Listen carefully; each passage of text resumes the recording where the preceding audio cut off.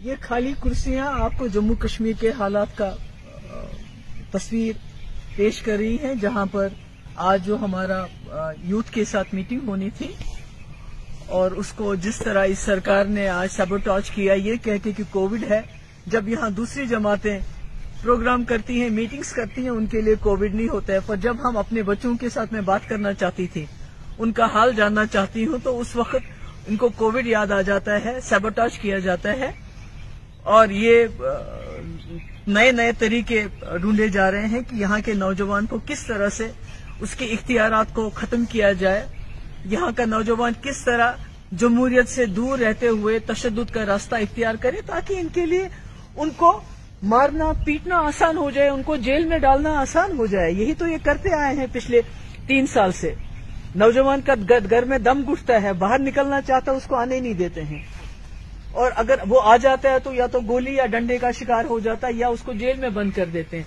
आज हमारे हज़ारों नौजवान रियासत के अलग अलग वादी के अलग अलग इलाकों से हमारे पास आना चाहते थे। क्या कर रहे वो? बात सुनना चाहते थे, बात करना चाहते थे। जम्मू कश्मीर के हालात की बात करना चाहते थे। मगर आपने देखा कि किस तरह से उन, आपको मेरे पास आने नहीं दिया।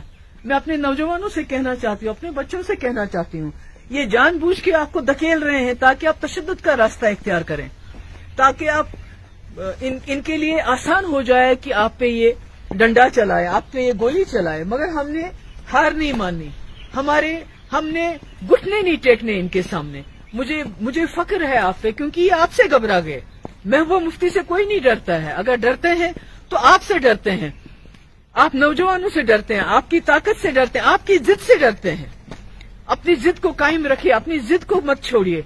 और जिद हमारी ये है कि हम जम्मू कश्मीर की फलाह के लिए, जम्मू कश्मीर की सालमियत के लिए, जम्मू कश्मीर की बका के लिए, इज़्ज़त के लिए, जम्मू कश्मीर के मसले के हल के लिए हम जदोजहद करेंगे पूरा मन जदोजहद करेंगे, जमहूरी निज़ाम में जदोजहद करेंगे।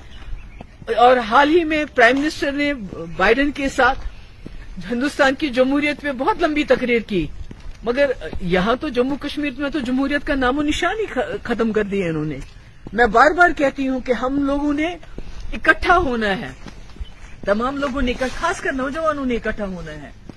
और यहाँ इनको बताना है कि हम आपसे डरने वाले नहीं हैं।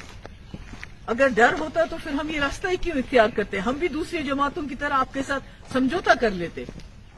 क्योंकि अगर हम भी समझौता करते तो आज हमें कोविड के दहम पे, कोविड के बहाने घर के अंदर मीटिंग करने से रोका नहीं जाता।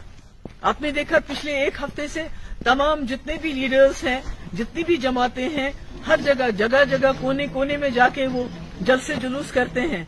और जब पीडीपी ने फैसला किया तो पीडीपी को क्यों रोका गया? इसलिए मेरे जवानों, मेरे बच्चों, मैं आपसे कहना चाहती हूँ, मैं आपके साथ हूँ। इन्होंने बेशक मुझे रोका। मेरे दरवाजे बंद कर लिए, आपके आपके मेरे से मिलने के बीच में दरवाजे बंद कर दिए। मगर मैं आपको कहना चाहती हूँ कि मेरी आवाज़, मैं खुद खुद आपके दरवाजों तक पहुंचूँगी। और जो, जिस मकसद के लिए पीडीपी बनी है, जिस मुद्दे के लिए पीडीपी बनी है, जिस एजेंडे के लिए पीडीपी बनी है मसले कश्मीर हल करने के लिए, अपना वकार जो हमारा खोया हुआ वकार वो बहाल करने के लिए, नौजवान के मुस्तकबल के लिए। क्योंकि हमारे पास तो इन्होंने कुछ भी नहीं रखा। चाहे हमारी जमीनें हो, चाहे हमारी नौकरियाँ हो, चाहे हमारे वसाइल हो, सब कुछ तो लूट रहे हैं ये दिन रात लूट रहे हैं। और और इन, इनकी लूट तो खत्म ही नहीं हो रही है। ये तो बिल्कुल डाकुओं की तरह काम करते हैं। और मुझे तो हैरानगी है कि यहाँ के जो हमारे हुक्मरान हैं उनको हमसे इतना बेर क्यों हमसे क्यों इतना डरते हैं? आपसे क्यों इतना डरते हैं? अगर वो बाकी जमातों से नहीं डरते तो हमसे क्या डर है? क्या वो